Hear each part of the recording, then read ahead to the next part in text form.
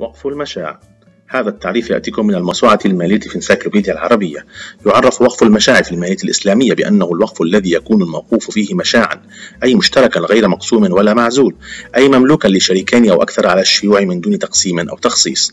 فالوقف هو حبس الأصل وتسبيل المنفعة وهذا يحصل في المشاع كما يحصل في غير المشاع كالمخصص أو المفرز.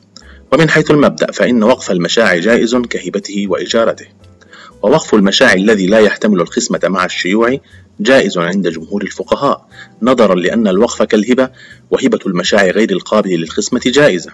أما المشاع القابل للقسمة فمختلف على جوازه. إذ أفتى البعض بجوازه كأبي يوسف ولم يجزه البعض الآخر كالمالكية ومحمد بن الحسن. وفي مذهب الحنابلة والشافعية يصح وقف المشاع وإن قبل القسمة ويجبر الواقف على القسمة إن أرادها الشريك ويجبر أيضا على البيع إن أراد الشريك ذلك ويجعل ثمنه في مثل وقفه. ومن التطبيقات المعاصرة لوقف المشاع وقف الأسهم أو ما يعرف بالأسهم الوقفية أو وقف الشركات المساهمة. كما ثم كما ثمة نوع آخر يعرف بالوقف الجماعي المشترك إن كان الوقف يتكون من مساهمة جمهور المسلمين وهي حالة يتعدد فيها الواقف في إنشاء الوقف الذي يعود ريعه أو غلته العينية على جهات خيرية.